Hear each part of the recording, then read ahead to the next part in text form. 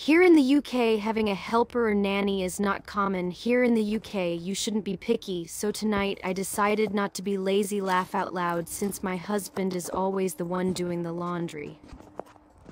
Pagtarong kamera kay in English na biya ko.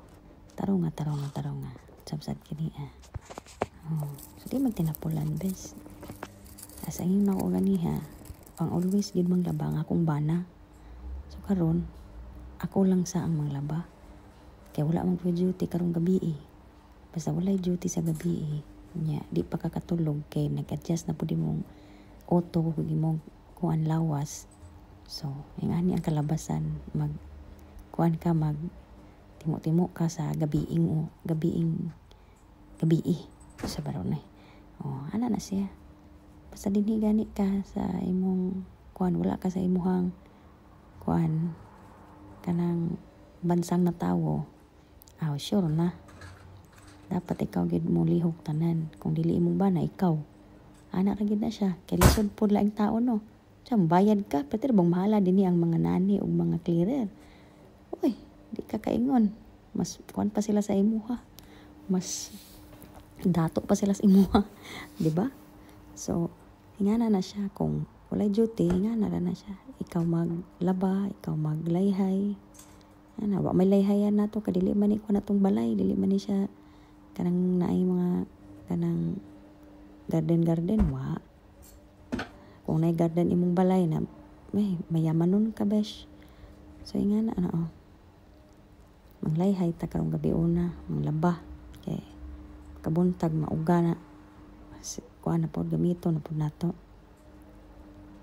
so naka-decide di ay ko nga manglaba di ay ko no kay actually nabasa mo dong uban ga, nabasa ang uban nga sinina kunya di na ma kung di ni mo siya labhan mag sana mag baho ba mag-mold so dapat labhan gini mo siya sa kuan.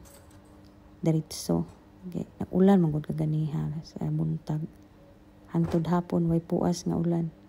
Di pud grabe nga ulan kanang sakto lang na kuan mabasa ka. So mo na siya. Di ba simple ra pud ngani kung kuan ka manglaba ka diri. Kay ilahang kuan diri ilang washing machine kuan man kanang dili ba pareha sa atoa nga walay dryer. Pero actually sa Pilipinas karon na may dryer mahal lang. Taka for diri eh, brato ra. Nya built in na sa ilaha.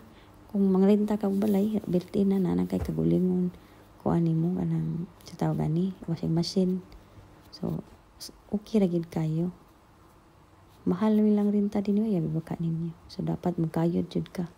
Kung gabi magtraba kung maggabi magkuan ka magtrabaho para sa kuha buntag na pud imong kuan kung makatulog ka ha maayo. Kung di ka katulog na pagtikaw-tikaw.